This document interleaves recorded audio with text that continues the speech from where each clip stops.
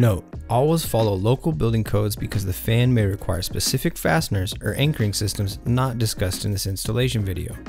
Installation should be done by a licensed roofing contractor. Important. Wiring diagrams are for examples only. Wiring should be done by a licensed electrician following local building and electrical codes and or NEC guidelines.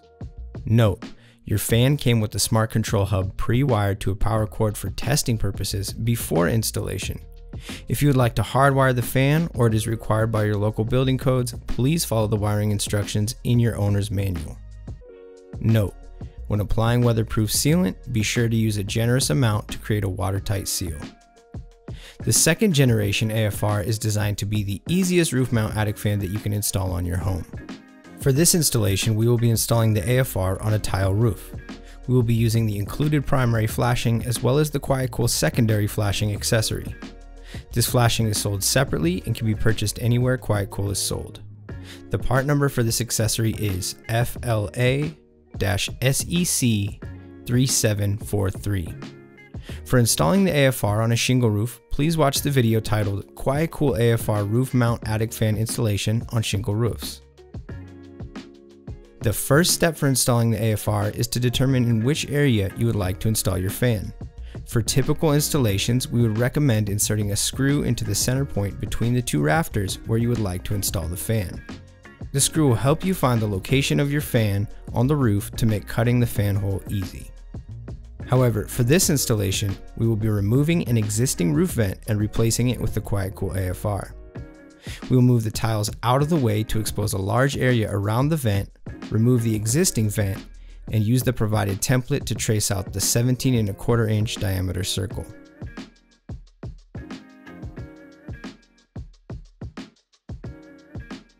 Using a saw, cut out the traced hole pattern from the roof decking. Remove the cutout decking material from around the hole as needed. In a typical installation, once the hole is cut, you would want to apply weatherproof barrier to the roof. However, since this installation had an existing vent in this location, weatherproof barrier already exists on the roof.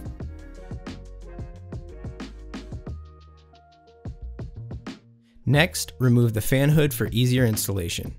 This will help you line up the fan to the hole in the roof and shape your tile. Position the fan so that it is centered with the vent hole. Lifting up the fan at an angle, apply weatherproof sealant to the bottom side of the fan unit. This will help keep the fan in place and create a watertight seal.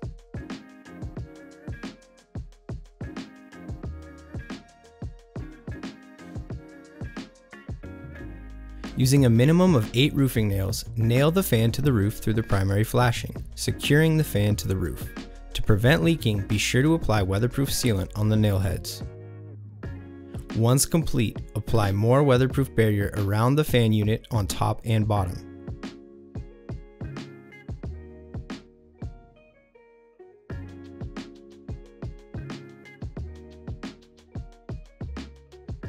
Be sure to apply a generous amount of weatherproof sealant underneath the weatherproof barrier and install with roofing nails.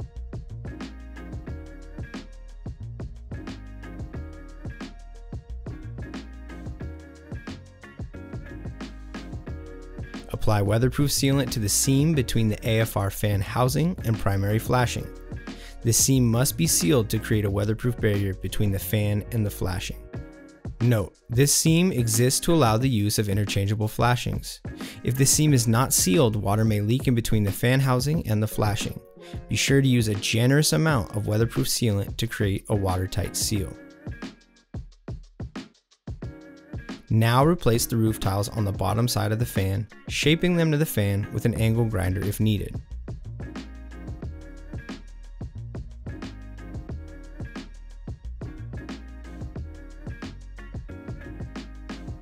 Using the QuietCool secondary flashing accessory, gently slide the flashing over the fan housing and hood mounting tabs. Note, the secondary flashing was designed to work with almost all types of tile and cement roofs. The flashing can be molded to create the shapes of more unique style roofs such as S-tile and M-tile. Note, be sure that the secondary flashing extends onto the roof tile at the bottom of the flashing. This ensures that water cannot leak in between roof tiles. Form the secondary flashing to close the gap between the flashing and the fan housing.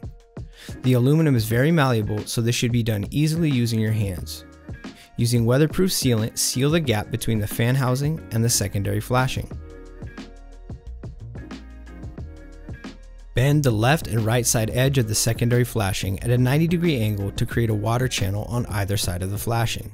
This will help direct water to flow down and back onto the roof rather than side to side under the tiles. Using an angle grinder, cut the removed tiles to fit them to the shape of the fan and secondary flashing.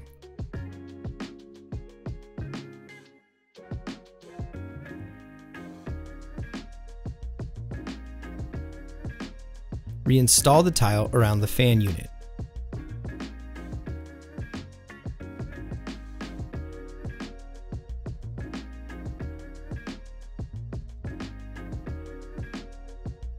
Apply weatherproof sealant on the bottom side of the secondary flashing to secure the flashing to the roof tile. The secondary flashing comes unpainted to allow customers to paint it to match the roof tiles. While this step is optional, we recommend to paint the flashing as it gives the fan a finished and integrated look. Reinstall the hood onto the fan unit and remove the protective film.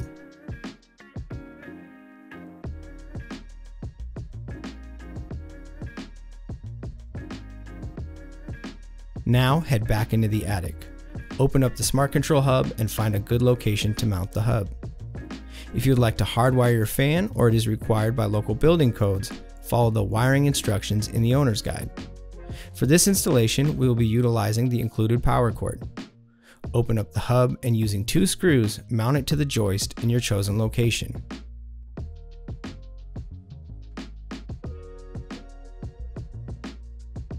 Once plugged in, the installation is complete.